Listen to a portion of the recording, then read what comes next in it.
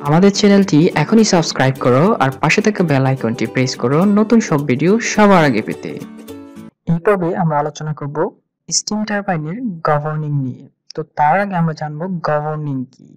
What is governing টারবাইনের লোডের চাহিদা অনুযায়ী বাষ্প সরবরাহ করার পদ্ধতিকে গভর্নিং বলা হয়। অর্থাৎ আমাদের যখন লোড বেড়ে যায়, তখন টারবাইনের গতিকে বৃদ্ধি করতে হয়। আর এই গতিকে বৃদ্ধি করার জন্য আমাদেরকে অতিরিক্ত বাষ্প প্রদান করতে হয়। আর এটা আবার যখন লোড কমে যায়, তখন আমাদের বাষ্প সরবরাহ কমিয়ে দিতে হয়। তো এটা অটোমেটিক যে ডিভাইসের সাহায্যে করা হয়, সেটাকে গভর্নিং বলা হয়। আর এই গভর্নিং কয়েক ধরনের হয়ে থাকে।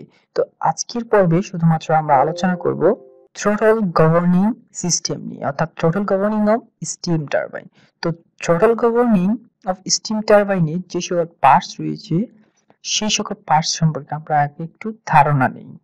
তো থ্রোটল গভর্নিং এ যে সকল পাস রয়েছে, তার মধ্যে প্রথমে রয়েছে আমাদের গভর্নর এবং স্লিপ এবং তার সাথে কানেক্টেড থাকে দুটো প্লাইবল এবং এখানে একটা স্প্রিং এবং এর সাথে একটা স্পিন্ডল লাগানো থাকে এবং তার স্লিভের সাথে লাগানো থাকে ডিফারেন্সিয়াল লিভার আর এটার ডিফারেন্সিয়াল লিভারের সাথে আমাদের দুটি সিলিন্ডার রয়েছে, একটা হচ্ছে অয়েল সিলিন্ডার এবং আরেকটা হচ্ছে সার্ভোমোটর সিলিন্ডার এই সার্ভোমোটর সিলিন্ডারে এখানে আমাদের রয়েছে এটা হচ্ছে সার্ভোমোটর পজিশন এবং এখানে এই দুটা যে ভালভ রয়েছে, সেটা হচ্ছে অয়েল রেগুলেটিং ভালভ এবং এখানে আমাদের রয়েছে অয়েল রিটার্ন প্যাসেজ আর এই দুটো সিলিন্ডারকে একসাথে কানেক্টেড করে দেওয়া আছে এইভাবে।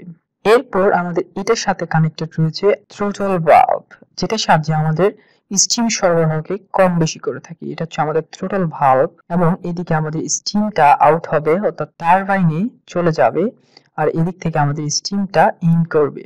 আর এর মধ্যখানে রয়েছে আমাদের থ্রোটল ভালভ নেক্সট আমাদের যেটা রয়েছে, এই অয়েল সিলিন্ডার এবং এই সার্ভো সিলিন্ডার দুটোকে পরিচালনা করার জন্য আমাদের এখানে এদিকে রয়েছে অয়েল পাম্প যার সাহায্যে আমরা এখানে অয়েল সরবরাহ করে থাকি। এবং এর পরে রয়েছে আমাদের ভেভেল গিয়ার অ্যাডজাস্টমেন্ট যেটা কানেক্টেড রয়েছে টারবাইনের শিফটের সাথে। এই বেভেল গিয়ারের সাথেই আমাদের এই গভর্নর এর সংযোগ।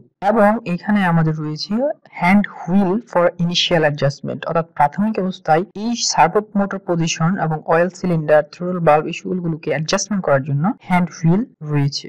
এ ছিল আমাদের একটি টোটাল গভর্নিং এর বিভিন্ন পার্টস নাও আমরা এটা কীভাবে কাজ করে সেটা একটু বুঝি। এখানে যে স্লিপটা রয়েছে, এটা হচ্ছে স্লিপ। এটা উপরে এবং নিচে উঠানামা করতে পারে। এই ফ্লাই বলগুলোর দুদিকে এক্সপান্ড অথবা সংকোচনের ফলে।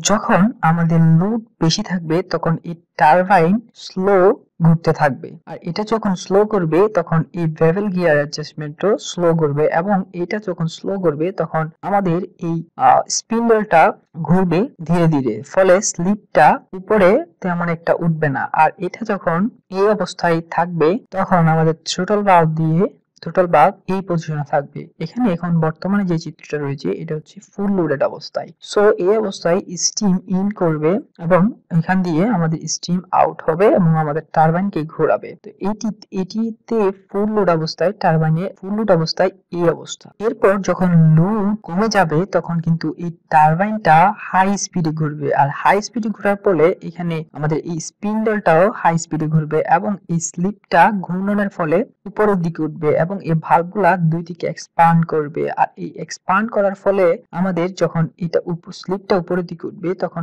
এর সাথে সাথে আমাদের এই ডিফারেন্সিয়াল লিভারটাও কিন্তু উপরের দিকে উঠে যাবে। সো এইটা যখন উপরের দিকে উঠবে, এটার সাথে যেই দুটা সিলিন্ডার কানেক্টেড রয়েছে, এগুলার এই অয়েল রেগুলেটিং ভালভও উপরের দিকে উঠবে। তো অয়েল রেগুলেটিং ভালভ যখন উপরের দিকে উঠবে, তখন আমাদের এই ভালভ এই রাস্তাটা ওপেন হয়ে যাবে এবং এদিক থেকে অয়েল পাস হয়ে এই সার্ভো সিলিন্ডার আসবে এবং এখানে নিচের দিকে যখন প্রেসার কেট হবে, তখন এটাও আমাদের নিচের দিকে চলে যাবে এবং এই অয়েলগুলা এই ভালভ দিয়ে অয়েল রিটার্ন প্রসেসের মধ্য দিয়ে বেরিয়ে যাবে এবং এখান থেকে যখন এটা নিচের দিকে নামবে, তার ফলে এই থ্রোটল ভালভও তার অবস্থানের পরিবর্তন করবে। অর্থাৎ এই থ্রোটল ভালভ সংকোচন হবে এবং এর পথটা কিছুটা কম্প্রেসড করে ফেলবে। ফলে স্টিম সরবরাহ কমে যাবে। আবার যখনই এর বিপরীতটা হবে, অর্থাৎ আমাদের লোড বেশি হবে, তখন টারবাইনের গতি কমে যাবে এবং এখান থেকে আমাদের স্পিন্ডলও কম ঘুরবে এবং আমাদের স্লিপটাও ধীরে ধীরে নিচের দিকে নেমে যাবে।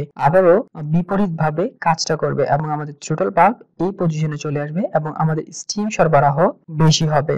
এভাবেই থ্রোটল গভর্নিং কাজ করে থাকে। ভিডিওটি ভালো লাগলে অবশ্যই অবশ্যই আপনার ফ্রেন্ডদের সাথে শেয়ার করবেন। Thanks for watching.